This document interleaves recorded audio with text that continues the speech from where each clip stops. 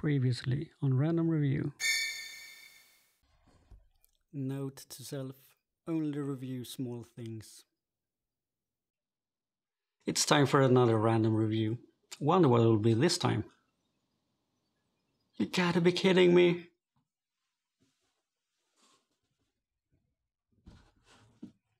We need a wider shot. Hold on a moment.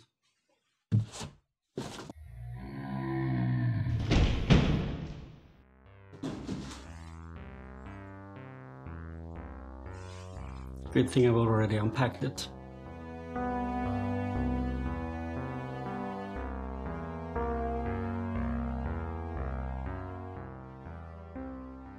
Hello, how are you?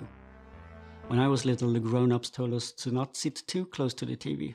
But we had to, because back then the television sets were small. Well, the screen surface area was. Today I'm going to revisit the issue of sitting too close to the TV. In this video, I will not review the TV as such. Instead, I'm going to focus on my experience of using it as a computer monitor. First, some background information. I wanted a screen with a lot of real estate, primarily for editing videos and photos. At the same time, I wanted it to be reasonably priced. This meant the 4K display. I have had the opportunity to use a 32-inch 4K display for a while. On that, I found the pixels were too small for my liking.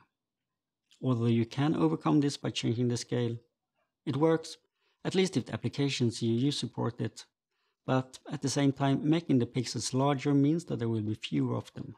For instance, if you upscale by 25%, you basically lose 36% of the pixels, and applications that don't support scaling will look more or less blurry, which is fine if you like headaches.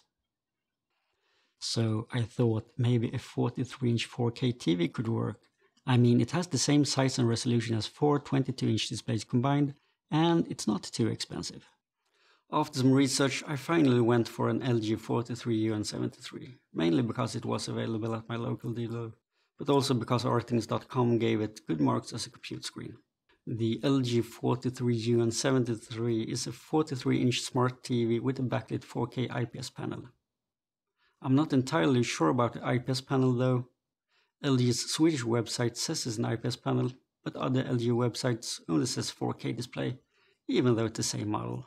I've also seen videos where it says real 4K IPS on the box. My box only says real 4K, whatever that means. That they haven't faked it like they normally do. It measures 97 by 57 centimeters, stand not included. It's about 8.5 centimeters thick, it's worth noting that the stand requires additional depth when the TV is on the desk, at least another 7 centimeters. The TV weighs around 8 kilograms. The VESA 200 by 200 mount on the back makes it possible to mount the TV on the wall. It has three HDMI ports. I guess they are version 2.1 since the TV supports auto low latency mode or ALLM. Now I say guess since I don't have a gaming console with HDMI 2.1, therefore I haven't been able to verify it. If you're a video game console manufacturer, feel free to send me one so I can test the HDMI port. Other connections include USB, network, both LAN and wireless, optical audio out, and Bluetooth. And if you're old school, there are a couple of analog inputs as well. The built-in speakers are fairly good. They are located on the bottom and sounds okay when the TV sits on a desk. I would say the sound is above par, especially when compared to the token speakers you normally find in a computer monitor. As expected, there is a remote to the TV. The remote is wireless and magic. You can even talk to it if you want.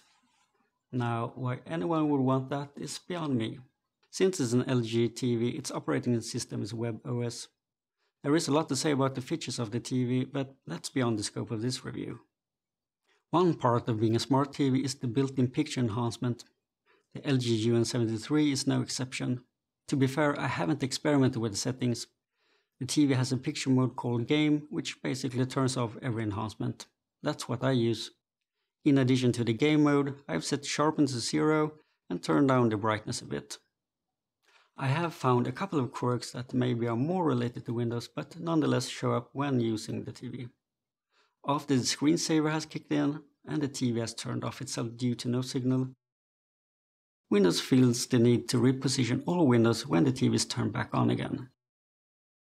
That kind of behavior I don't recognize from ordinary computer monitors. The main reason for getting a 4K display is the increased screen real estate it provides compared to a full HD display. The advantage of a large display is larger pixels, which makes everything look bigger. Duh. And size-wise, I can't complain, things are as large as I prefer them to be, but, and it's a big but, not as big as your mama's though. This requires that you sit at the same distance as you normally do with a 22-inch monitor. Although it's doable, I do find it a bit straining on the eyes, especially when it comes to office work. Maybe it's something I could get used to, but to be honest, I haven't tried, mainly because I have a perfectly good 27 inches monitor. What did you think? Part of the problem is the viewing angle. Whilst positioned perpendicular to what you're looking at, the picture is just fine. But the larger the viewing angle becomes, the worse the picture gets, particularly at the edges. This is even more pronounced with a solid bright background. It's obvious that the background does not look uniform. There is another minor issue related to this. As you can see here, the screen looks dark near the edges. At first I was a little confused. It looked like a reflection from the bezel, but the reflection shouldn't make it darker. You might already have figured out the problem, but if you haven't, I'm going to try to illustrate it by getting closer. The problem is the distance between the LCD and the light source. The edge is not lit when viewed from an angle. This is an issue with backlit panels, and when you sit close, it's more noticeable. That begs the question, what good is a big screen if only the area in the middle can be used? However, when situated a bit further away from the screen, things become better. The background looks more uniform, and the longer distance works when precision is not required, for instance when editing videos or photos. But at the same time, it's much harder to make out details from a distance. Another thing worth mentioning is the screen's glossiness. This may or may not be an issue, depending on the light in the room and what's displayed on the screen. Typical office use, with bright background in, in a well-lit room, poses no problem. But with a dark background, the reflections in the screen might be problematic. Despite that, I wouldn't say the screen is any worse than other TV screens. So it turns out you can't sit too close to the TV. As this means that the grown-ups were right, or simply that I have turned into one? The LG 43UN73 cost roughly the same as a 32-inch monitor, so in terms of size, it provides a good value. This TV might be an option if you're looking for something bigger. Both picture quality and colors are good. The major drawback is the viewing distance. It requires a really deep desk or most likely to be mounted on a wall. For me, a distance of at least one and a half meters is necessary.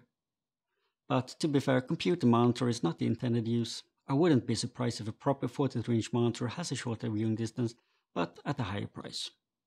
I don't feel the TV replaces an ordinary monitor, but it might be a complement.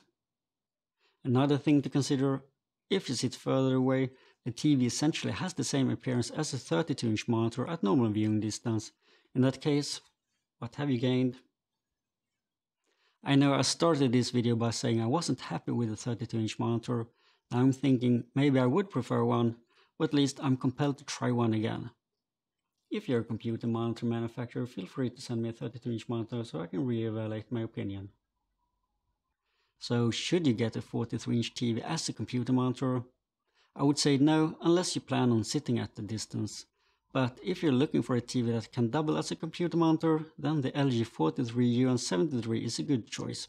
As for me, well, I'm going to rearrange my workspace, mount the TV on the wall, and place the desk a bit from the wall. Thank you for watching. It requires a really deep desk, almost like to be my... Inte. Sluta.